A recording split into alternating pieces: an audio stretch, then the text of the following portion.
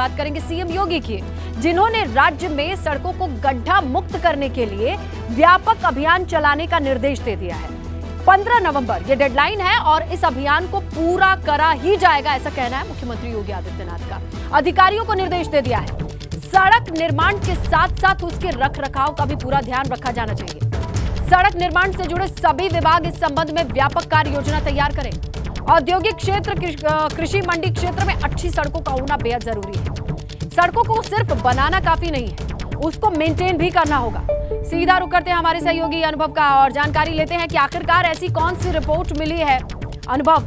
क्योंकि देखिए, ये मुख्यमंत्री ऐसे हैं जो लगातार दौरों पर रहते हैं। तो मुख्यमंत्री को कौन बताएगा कहाँ कहाँ की सड़कें खराब है, उससे पहले ही वो नाप लेते हैं पहुँच जाते हैं। तो क्या ये सारा उनका अपना अनुभव है या फिर पीछे से भी कोई रिपोर्ट आई है कि सड़कों की हालत ठीक नहीं है?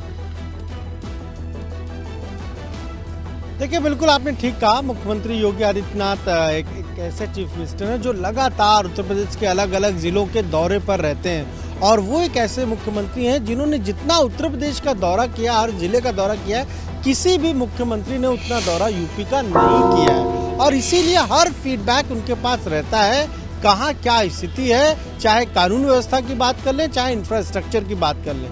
और खुद मुख्यमंत्री ने कल जब अधिकारियों के साथ बैठक की तो साफ़ तौर पर कहा कि भाई प्रदेश की सड़कों में गड्ढे हैं। पंद्रह नवंबर तक एक अभियान चलाइए गड्ढों को भरिए सड़कों पर गड्ढे ना रहने पाए। ना केवल पीडब्ल्यूडी विभाग बल्कि जैसे जो हम कहें कि जो आवास विकास की सड़कें हैं जो गन्ना की सड़कें हैं जो पंचायती राज की सड़कें हैं जो चीनी विभाग की सड़कें हैं हर एक सड़क के लिए साफ़ तौर पर कहा है कि 15 नवंबर तक सभी विभाग उनसे जुड़ी जो सड़कें हैं उनके गड्ढों को भर दे यानी गड्ढा मुक्त अभियान चलाया जाए 15 नवंबर तक और सभी सड़कों को ठीक किया जाए। देखिए महत्वपूर्ण ये है कि कल से अगर हम बात करें तो जो इक्यासीवा भारतीय रोड कांग्रेस की शुरुआत लखनऊ में होगी और उससे पहले मुख्यमंत्री समीक्षा बैठक कर रहे थे कि किस तरीके से ये पूरा कार्यक्रम होगा।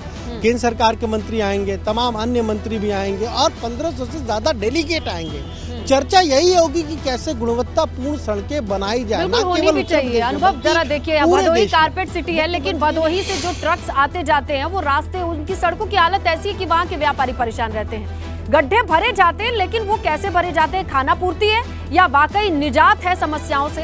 ये सोचने वाली बात है। देखते हैं कि इस पर क्या स्टेप लिया जाता है। आप नज़र बना के रखिएगा अनुभव। आज का दिन बहुत हम है।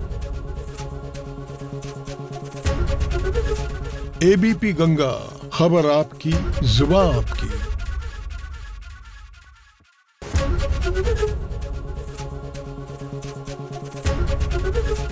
एबीपी गंगा खबर आपकी जुबा आपकी।